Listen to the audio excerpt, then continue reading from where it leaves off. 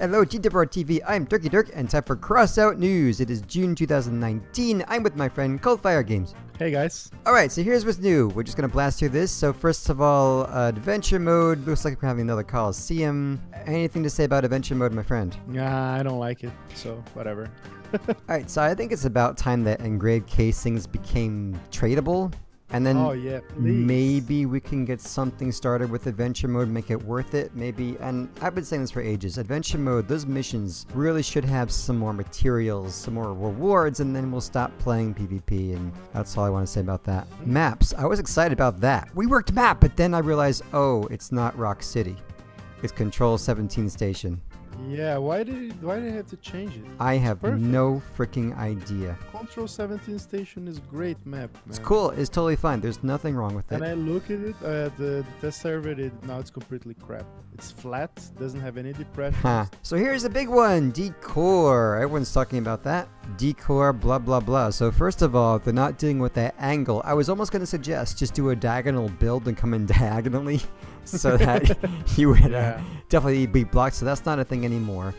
And no. there's a lot of talk about projectile blah blah blah. It seemed like with this patch, it was almost even worse because you can stick a really small low HP structural bit and put a big exactly. and put a big mammoth balloon on top of that. So it shoots the mammoth, but then it just you all you lose is one tiny little bit that's attached to. Yeah. It seems to Apparently be the same. How they fix it, I guess. Did they really? It seems like it's the same to me. Explosion will occur after contact with structural part located behind the decor along the projectile flight path. Along the projectile flight path. Hmm. The, the, the parts need to be aligned to the projectile. Okay. No. That's going to be going to take some testing, my friend, and you are the man to do it. Oh, yeah. All right. So, raids in general, um, I would say the least of my troubles is someone not doing anything in raid, like just sitting there. I mean, my problem with raids is people actually thinking they're doing something and they're idiots. But you don't play raids anyway, right? So. No, I don't know what you're talking about. Yeah, raids just suck, man. They just they're always gonna suck.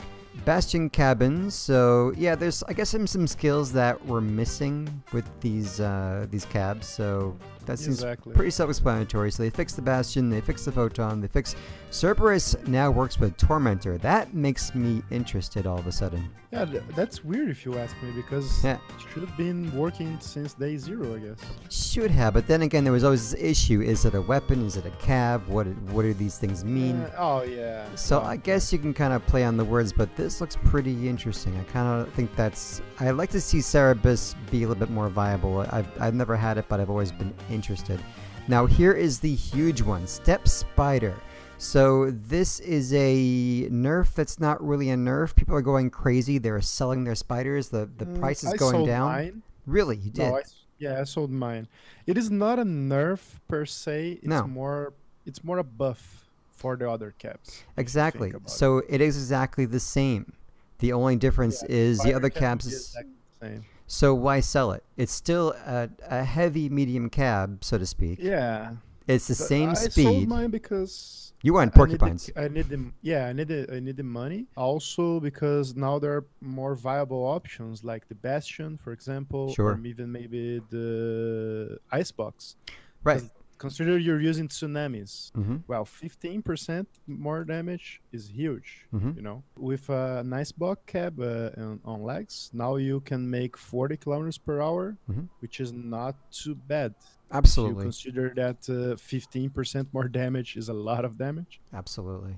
I totally get that you wanted to sell it and you wanted porcupines, but I still don't mm-hmm. think that Steppe Spider. I mean, I guess you guys are selling it. Price is going. It's about time the price went down in general, but I still don't really think that it's not a nerf like people say. It's not. It's the same speed. No, so it's, it's just it's, it's just that other cabs can use like legs are going to be tremendous. I would say craft or buy some legs now and then just sell them for a lot more. I would imagine. What do yeah, you think? That, that, could be a good idea. Legs will get more expensive, I'm sure.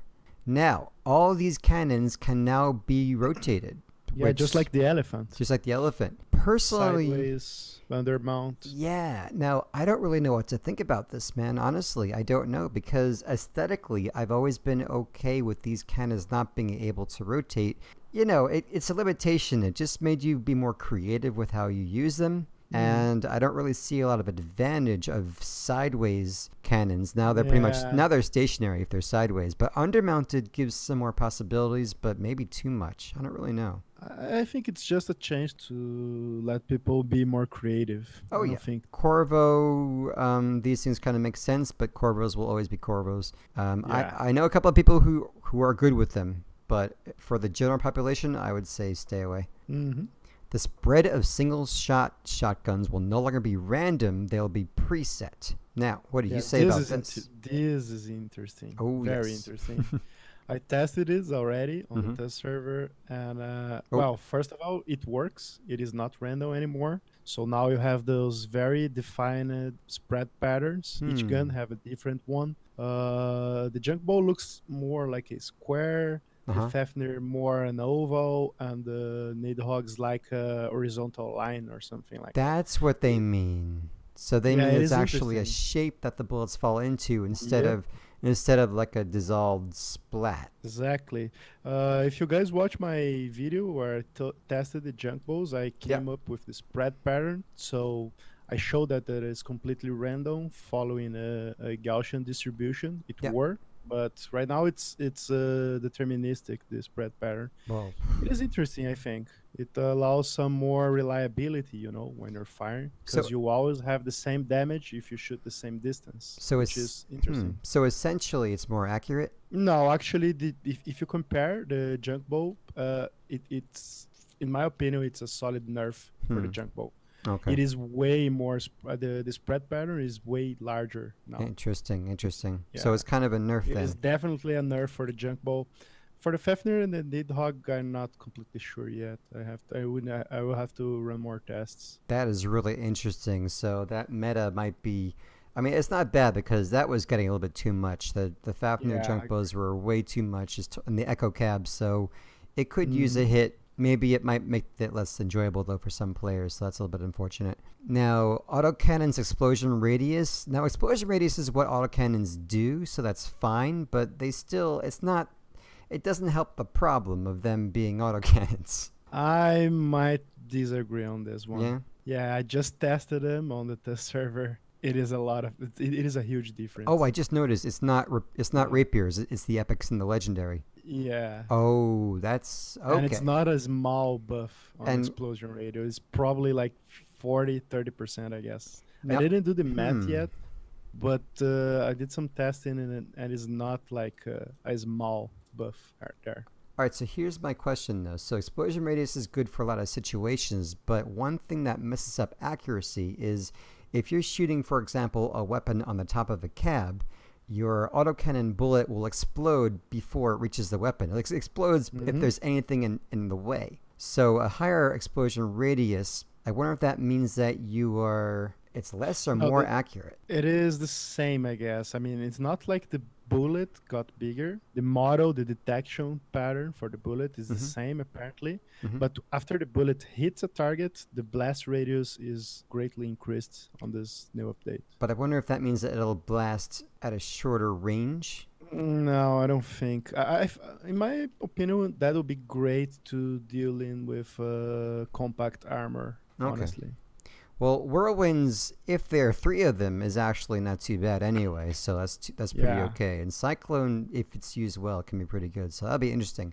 So Reaper minigun, this is huge. Durability will increase. Here they come. They're coming back. yeah, and that's not a small buff either. Right Force- now, force it something. have uh, 450, and it used to have 380.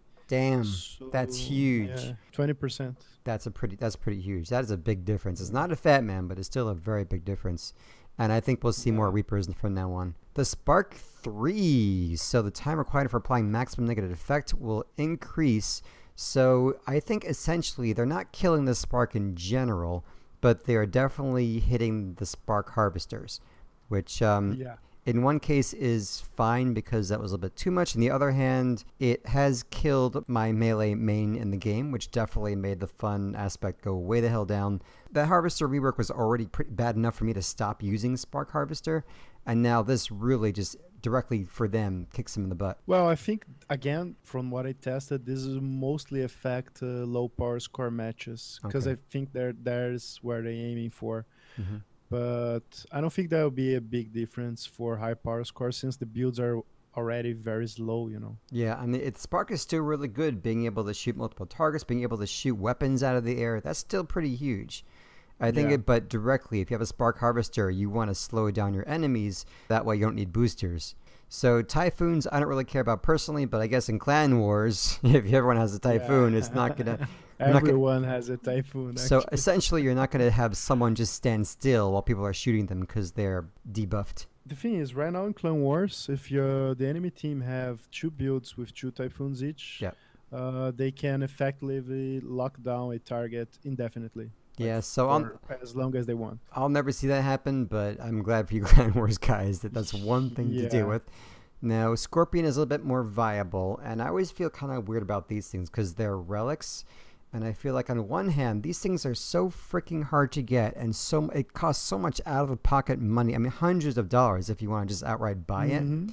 It should be freaking amazingly OP because of that. On the other hand, having that kind of OP weapon for some people like that who spend money or have promo accounts really hurts everyone else, the mass vast majority. So I really have a love hate relationship with these relics. Actually, more of a hate hate relationship with these relics. But Scorpion was hit too hard with its inaccuracy when driving. Now I guess we'll have more hover Scorpions. Probably. Yep. Now yeah, I um, never used the Scorpion, so I have no idea. So Incinerator and Mandrake, they definitely had to fix what they broke with that sighting, but it looks like now you adjust the sight sensitivity. I mean, does that mean like a is that your settings or is that as you're playing the game? Basically, now you have uh, two independent uh, options: one for the x-axis and one for the y-axis, so you can set up different sensibil- sensitivities. I want the game to just work for me. I'd rather not just do the work and have to go in here and play with play with these freaking. Just make it work.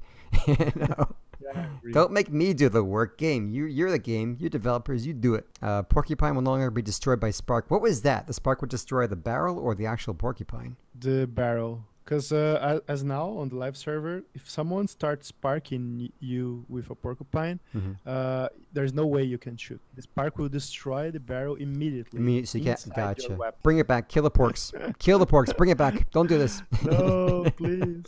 All right. So fenders looks really interesting. They want to rework the parameters of fenders, so we'll actually use our fenders and kind of make more cool looking vehicles with fenders instead of just Mhm. kind of throwing them on kind of as an afterthought. So that's kind of cool. Now, here's what I was thinking though about this decor thing. I would recommend this. So, I have two kinds of decor items. One kind are your stupid stuff like your pipes and your ice cream cone and your horns and all this other stuff that I just you put on there for fun, right? Just for fun, nothing else. And don't even increase the PS because they're just for fun, right? They're not armor they're anymore, so they're nothing. The other one is there are a lot of fenders and other kinds of things that are more structural. I don't know. I feel like these should not really these should be more like an armor class.